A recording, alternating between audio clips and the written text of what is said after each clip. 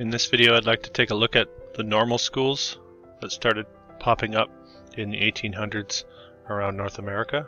I've got a collection of them here for you. This one's in Nebraska. It's an interesting phenomenon. Let's have a look at uh, some of the history on this. Of course, we have a backstory. Uh, 1839, they're giving the date for the first normal school. Um, Lexington, Massachusetts, eventually becoming Framingham Un State University, um, or a part of it. Um, you'll find this narrative throughout uh, the normal schools. The schools that you'll see, you might recognize them as a current university building, uh, but originally um, intended as one of these. Um, and basically, what it was was uh, the implementation of formal education throughout North America. Um, and the normal schools were intended to train the teachers um, to instill the norms. Uh, include it says here included historical behavioral behavioral norms of the time. So they're implementing what was normal for the time, um, and we put that in the context of the reset um, mud flood researching. Um, it's interesting because what we are seeing and what we are implying, I guess, is that uh, there was some sort of reset of history and of conventional knowledge, and also the use of um, of buildings from the civilization that existed previous to that. So let's have a look at some of these normal schools.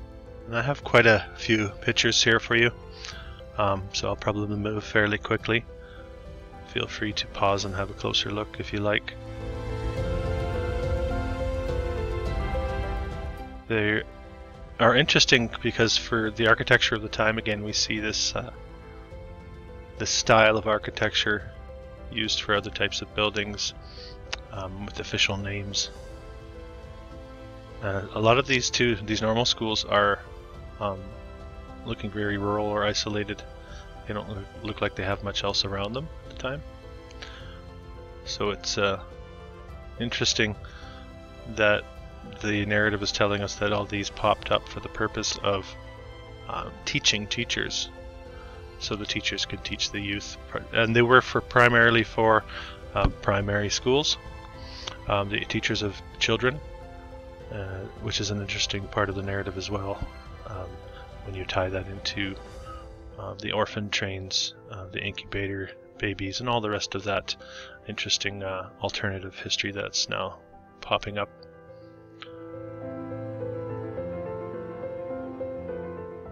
So you get that sense of uh, isolation for the building here itself. But you have this the dome tech popping up. You have the gate on the roof. Again, so familiar technology or architecture um, that we see in other types of buildings that we've looked at here on this channel. Uh, Texas, this one. New Hampshire, there you see the children. Uh, I would suspect at the time this photo was taken, it being used as a school for children. And you start to get a lot of these as well, castle looking buildings.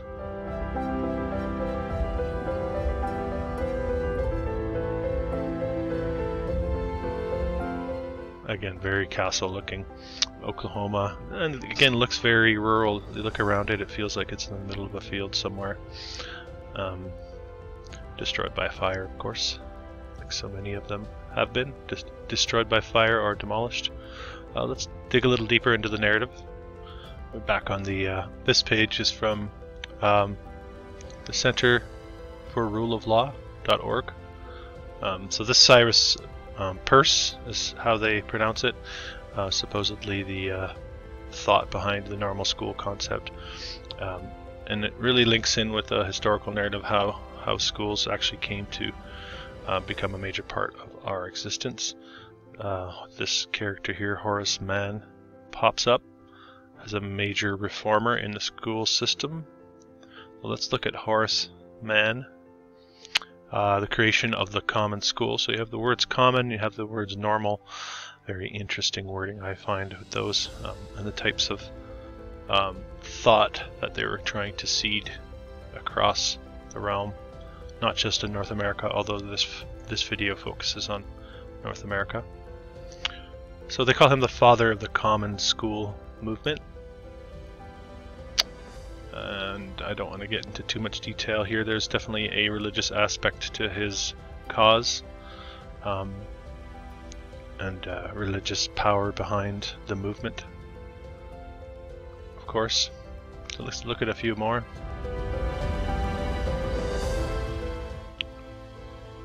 Starting to see very familiar architecture and the mud flood type evidence here.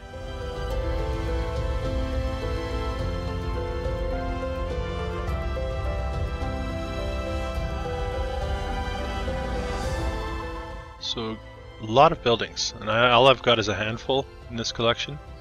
A lot of buildings all over North America, and I would suspect beyond. Uh, they do say the whole concept began um, in France, and then was implemented in North America in the 1800s. Again, that 1800s timeline popping into existence. This one in Idaho, always in the mid 1800s where it feels so foggy um, in our historical narrative there isn't much going on there um, that jumps out at you so you have these what I what I propose um, is that these were repurposed buildings from a previous civilization um, and then repurposed as in this case normal schools to normalize the formal education system of the new world, uh, the new normal. And you also see them these types of buildings repurposed as asylums very commonly. Um, and of course, you know, more official type city, the ones especially in the city centers, um, designated as uh, government buildings, post offices, banks, hotels.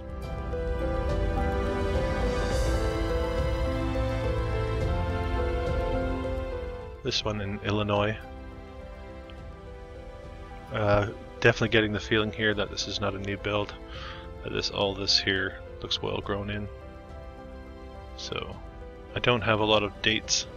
i am sure they could be looked up, but it gets pretty hazy. This one in Jersey City. But again, if you use your eyes and a bit of common sense, the official narrative starts to fall apart. This one pretty blurry.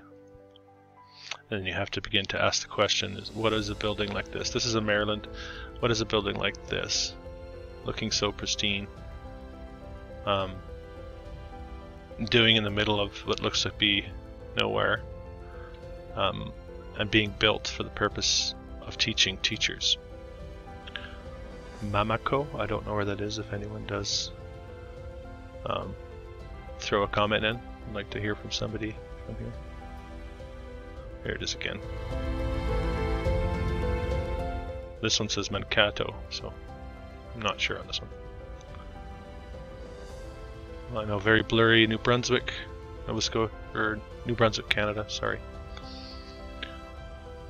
Newark. Cheney.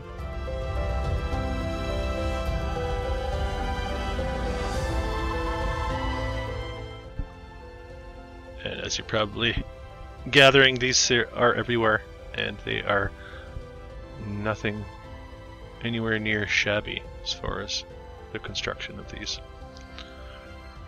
So a lot of, a large part of our narrative is asking us to believe that these workers, builders, um, you know, brickies, carpenters, finished carpenters, painters, all of these people who existed in the mid 1800s um, were just really, really good at what they did and were willing to work all day for very little, um, not gain any social status since we don't really know who any of them were, um, and not really be applauded for the the works that they created. It doesn't it doesn't fly with me. Um, if I had been a part of building something like this, I would want that to be known, and I would think that people would appreciate the construction of such beauty and celebrate it. But it just seems to be something where these buildings pop up, and the narrative um, expects us to believe that they were just thrown up, uh, often in a year or two. And we're talking about buildings that are constructed of brick and stone, um, a lot of uh, iron beams, um, and then the interiors, of course, finished off with plaster and painted and the uh, the type of woodwork finishes we see in a lot of these buildings. Um, would be very, very difficult to perform and duplicate these days. And we're expecting the people of the mid 1800s to have had these abilities without the use of power, by the way. So it's a stretch, in my opinion. It's a stretch. I think we have a, a valid argument in this case. Anyway, back to the normal schools. Uh, let's uh, have a, another look at some more information here. We're still on the Horace Mann page here. This is on Social Welfare Library um, .vcu, Virginia Commonwealth University. Uh, there's a little blurb here at the bottom that I find interesting. You know, history is divided between people who um, let's see here. They say some people support what the, what they were doing with this movement as an important step toward a more open and fluid society in which merit would trump birth. Although hmm. others other historians view common school as a rather blunt tool for social control. One that tended both to stifle intellectual curiosity and to suppress diversity. And I would be in this camp here, and I would suggest that it was definitely used as an intentional tool. More so than we realized. And one last little bit from encyclopedia.com on normal schools. You can have a look through that yourself. Um, they go through a lot of the similar history. Whenever you research this kind of stuff, the first page or two is always the same story. Everybody gets it from the same source, so it starts to look like the same story. Um, this little blurb, though, talking a little bit more about how they were focused on character and morality and instilling these values into the children of the time, the youth of the time.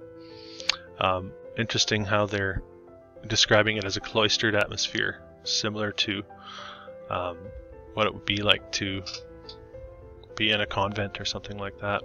Um, so again, that uh, church narrative popping in. go through a few more here. You've seen a couple from Canada, and then across the states, north, northwest, east, south.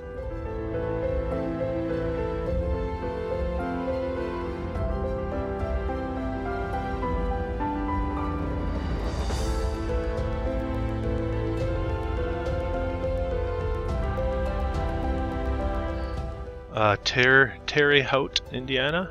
Hope that's how I hope I got that right.